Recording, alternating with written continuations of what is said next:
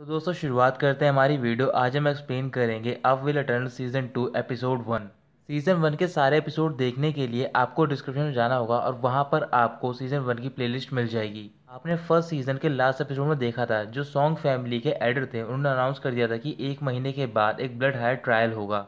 और जितने भी डिसेबल होते हैं, वो सारे ट्रेनिंग के लिए लग जाते हैं। ये जांगियानी की शाओ वचन सॉन्ग जुआन के साथ होता है। सॉन्ग जुआन उसे बता रही होती है कि तीन दिन बाद तुम्हें पीक पर बुलाया जाएगा। वहाँ पर जिस लेगेसी को तुम्हें अवेकन करना है, वो बहुत ज़्यादा कॉम्प्लेक्स है और तुम्हें ध्यान रखना है कि वो लेगेसी की पार्ट है सेक्ट वॉर का। और वैसे भी एडर ने फैसला कर लिया है कि वो स्पीड स्ट्रीम सेक्ट से फाइट करना चाहते हैं। तीन दिन बीतने के बाद एंसेस्टर ऑर्डर देते हैं सारे डिसिपल को और बोलते हैं कि तुम सबको अपनी ब्लड की ची को रिलीज़ करना होगा। एंसेस्टर के साथ में दो रेडर होते हैं। वो तीनों मिलकर वहाँ पर एक पैटर्न ड्रॉ करते हैं। फिर वो नौ डिसिपल को चूज़ करते हैं ताकि वो पीक पर आकर उस पैटर्न को दोबारा एक्टिवेट कर सकें। एक एक करके डिसिपल को चूज़ कर लिया जाता है और आखिर में जो एक स्टूडेंट होता है, वो होता है ये जांग, यानी कि शाओचान एक एक करके सारे डिसिपल अपनी जगह पर बैठ जाते हैं। शाओचान के साइड में बैठा होता है शू शाओचान वो शाओचान को देख के बहुत ज़्यादा खुश हो रहा होता है। शू शाओचान के राइट साइड में सोचे बैठा होता है। तभी शाओचान उसे देखता है उससे पूछ रहा होता है, क्या तुम्हारी कन्फाइनमेंट खत्म हो गई है?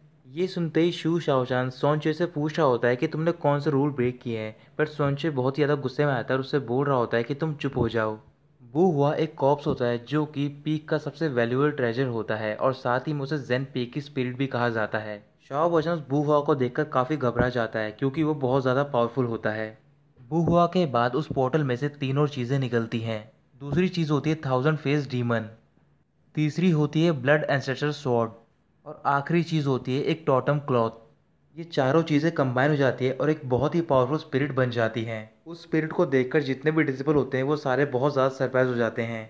इसके बाद एंसेस्टर वहाँ पर एक ब्लड स्ट्रीम नाइट पॉपर्ट को बुलाते हैं, जो कि बहुत ही ज़्यादा पावरफुल होता है। और उसके साथ ही में ब्लड स्ट्रीम सेक्ट की एक फंडामेंटल लेगेसीज माना जाता है। नाइट पपेट के हाथ में एक बहुत बड़ा बाउल होता है, जिसके अंदर से एक बहुत ही तेज रोशनी निकलती है। उस रोशनी को देखते ही जितने भी डिसेबल होते हैं, वो सारे अपने अनकॉन्शियस माइंड में पहुँच जाते हैं और वहाँ पर अपने सेल्फ पोर्ट्रेट से फाइट कर रहे होते हैं। इधर एंसेस्टर सॉन्ग फैमिली के एड्रेस से बोल रहे होते हैं कि मैं देखना चाहता हूँ कि कौन सा डिसेबल सबसे पहले बाहर निकलेगा अपने अनकॉन्शियस माइंड से। कुछ ही सेकंड बीतने के बाद शाह भोजन अपने सेल्फ पोर्ट्रेट को हरा देता है और अनकॉन्शियस माइंड से बाहर निकल जाता है। एंसेस्टर काफ़ी हैरान होते हैं और वो बोल रहे होते हैं कि ये वाकई में बहुत ज़्यादा पावरफुल है, क्योंकि इसने शू में और सोंचो से पहले इल्यूजन को ब्रेक कर दिया है। कुछ देर बाद शू में सोंचे और शू शासन उस इल्यूजन को ब्रेक कर लेते हैं। इल्यूजन ब्रेक करने के बाद एंसेस्टर सारे डिसिपल से बोल रहे होते हैं कि तुम लोगों ने जो भी चीज़ देखी है, वो सिर्फ़ हमारी एक लेगेसी है। अब इसके बाद तुम्हें ब्लड दाव ऑफरिंग सेरेमनी करनी है। इस सेरेमनी में तुम सबको ची को ब्लड में रिफाइन करना है और बू हुआ को अवेक करना है। इसके बाद सारे डिसिबल रिफाइनिंग करना स्टार्ट कर देते हैं। वो सारे ची को ऑब्जॉर्व कर रहे होते हैं और रिफाइन करने के बाद ब्लड में ट्रांसफॉर्म कर रहे होते हैं। तो फिर सबसे पहले शू में इसमें कामयाब हो जाती है। एक एक करके वो सारे ची को ब्लड में ट्रांसफॉर्म कर देते हैं और जो उनकी एक ड्रॉपलेट होती है, वो उनके सर के ऊपर होती है। पहली ड्रॉप रिफाइन करने के बाद शू में एंसेस्टर के पास भेजती है। एंसेस्टर उसे देखकर बहुत ज़्यादा खुश हो रहे होते हैं और वो शू में की बहुत ज़्यादा तारीफ़ कर रहे होते हैं।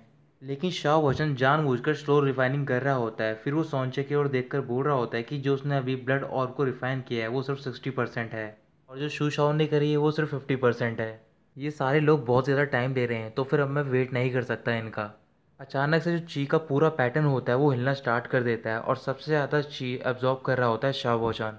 वहाँ पर जैंगफेंग वूजी यानी कि शुमे के फादर होते हैं, और वो उसे टेलीपैथी के थ्रू बोल रहे होते हैं कि सारे स्टूडेंट ने ब्लड ची को ऑब्जॉर्व करना स्टार्ट कर दिया, लेकिन तुम कुछ भी नहीं कर रही हो। शुमे बोल रही होती है कि मैं ये जांग और सोन चे से कॉम्पिटिट नहीं करना चाहती, क्योंकि वो मेरे कॉम्पिटिटर नहीं हैं। ची ऑब्जॉर्व करने के बाद चाहे उनका कल्टिवेशन लेवल इंक्रीज हो जाए, फिर भी वो मुझे नहीं हरा पाएँगे। इसके बाद वोजी एंसेस्टर से बोल रहे होते हैं कि हमें ये सब रोक देना चाहिए, क्योंकि अगर ये कंटिन्यू रहा तो फिर हमारी सेरेमनी में ज़रूर प्रॉब्लम आएगी। एंसेस्टर कह रहे होते हैं कि मैं रोकना चाहता हूँ, लेकिन ये जांग ने बहुत ज़्यादा ची अब्जॉर्व कर ली है। अचानक से सारी ची वहाँ से गायब हो जाती है। फिर सॉन्ग फैमिली के एल्डर बोल रहे होते हैं कि ये जांग ने करीबन 90 परसेंट जो ची है, उसे ब्लड में ट्रांसफॉर्म करके फ्रीज कर दिया है। अचानक से जो फोर पैटर्न स्पिरिट होता है, वो कंपोजिट करने लग जाता है और पूरा सेक्ट हिल रहा होता है। ये देखकर एंसेस्टर डर जाते हैं और वो सारे डिसिपल को ऑर्डर देते हैं कि तुम सबको ये सेरेमनी सनसेट से पहले कंप्लीट करनी होगी। और जो भी ब्लड आपको सेंड नहीं कर पाया, मैं पर्सनल उसके खिलाफ एक्शन लूँगा।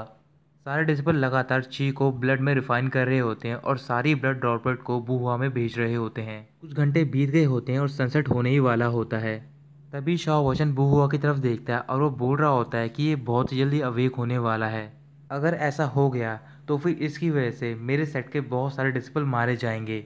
मैं सिर्फ़ कोशिश कर सकता हूँ, इसका पूरा होना या ना होना, ये सिर्फ़ हेवन की विल है। तो दोस्तों यहीं ख़त्म होता है एपिसोड वन।